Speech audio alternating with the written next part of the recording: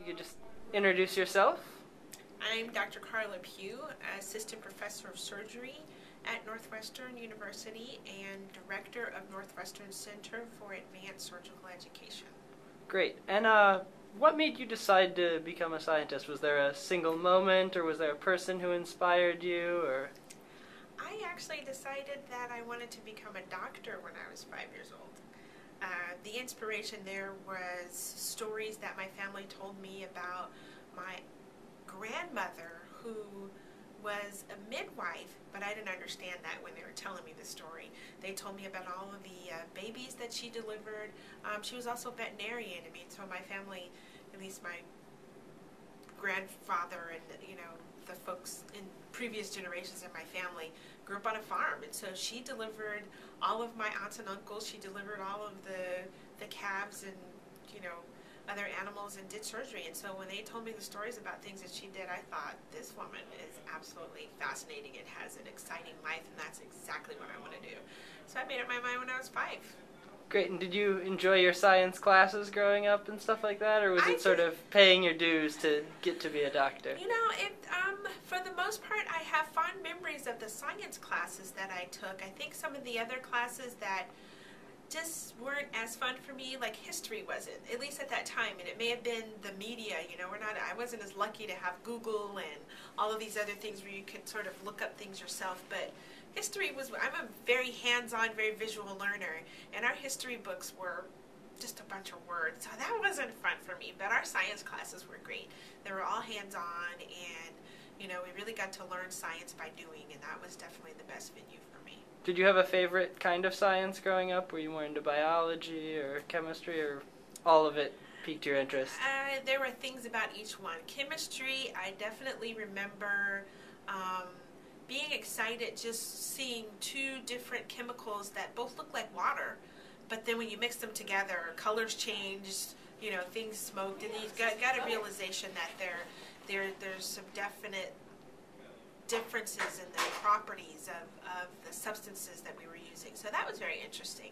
Um, then with the biology, just really, it was kind of overwhelming. Biology, it was great, but you know, you just learn all the different um, species and the whole, you know, ontology of different flowers, different birds, and the animals, and you know, it was it was it was a bit overwhelming, but lots of fun. Great. Maybe you could talk a little bit about your job now, both what your job description is, sort of in a broad sense, and what that means you're doing from, you know, on any given day. So now um, that's flipping the script forward several, several years, I should say. You know, um, and I became a surgeon. I didn't become a midwife or a veterinarian, but I still, you know, I've delivered a few babies, some plastic, some real, and. Uh, Right now, I basically, my career centers around both doing surgery as well as using technology for education. And after doing my surgery training, I went to get a PhD in education, as if that's not enough schooling. But I went back and I would encourage anyone to do it. It was great. Um, and I basically am able to combine two fields um, that people don't normally get a chance to do, and it's a lot of fun. And I find that I have a lot to offer because I went back to school to get the PhD.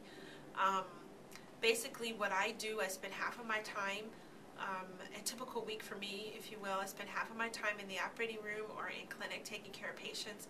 And then the other time I spend in the lab either um, teaching using technology or um, analyzing data that I've collected with the simulated teaching tools that I use.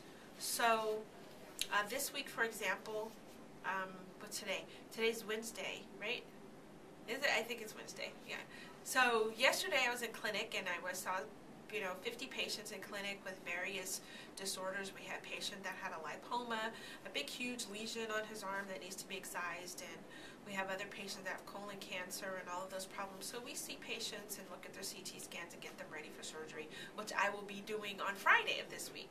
But in the interim, today we had a skills lab for several high school students who were interested in science careers, and we put on a mini residency for them. So they came here this morning and they learned how to use a scalpel, they learned how to use a needle and syringe, and they learned how to use um, a needle driver, suture, forceps, and all the things that we use, use to suture room, wounds together.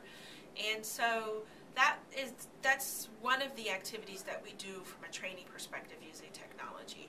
We train high school students that may be interested in health careers. We train surgeons or surgeons in training who are wanting to learn um, surgical procedures, and then we also do training courses when there are new instruments that are developed in surgery. So there may be a senior doctor who's famous in his own right who knows how to do a pancreas surgery, and then there's some new instrument that gets developed along the way.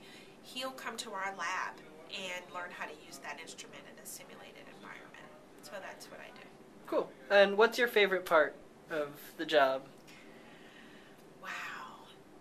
I have two competing favorites. My favorite is being in the operating room and getting a sense of how a pathologic process has changed the normal anatomy within a human being, and then taking great pride in my ability to be able to take out the pathology and put the normal back together and then see the patient the next morning and they feel better.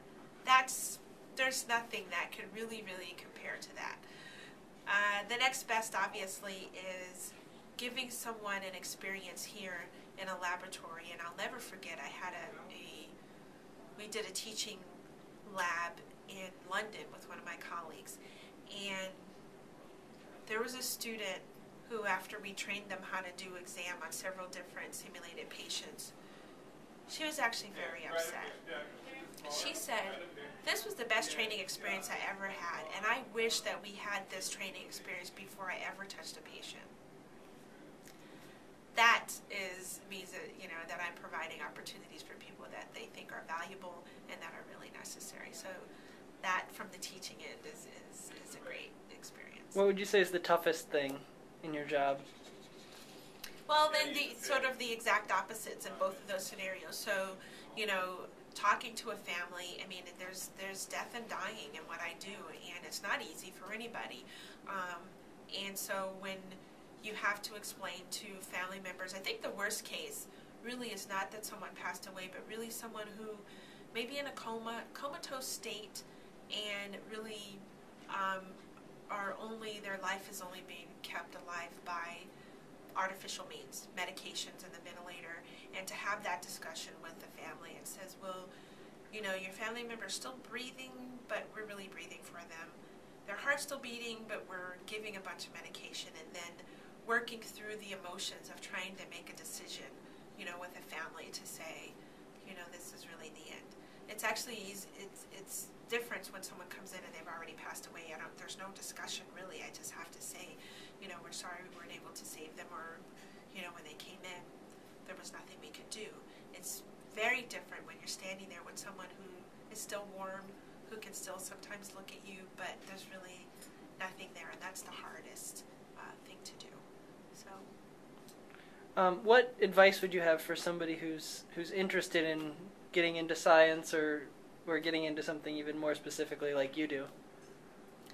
It depends on where you are in your career. I guess the advice is all the same. Stick to it, believe you can do it, and don't let anybody discourage you otherwise. I mean, it, it's a long haul, it's a long process, but um, I, it's worth it in the end. I mean, I, I think that and I've said it before, I think the, the people who want to go for the rich, get rich quick schemes, they work for some people, most people, it doesn't work.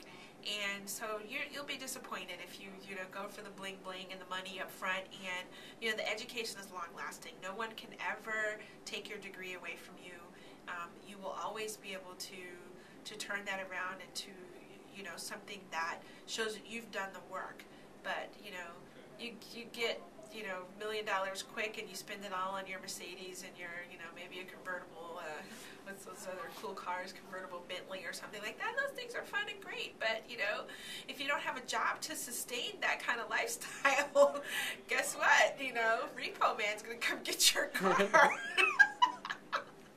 So I, I mean, that would be my advice, really. If you if you like that kind of lifestyle, you got to get a job that supports it. Okay, great. Thank you.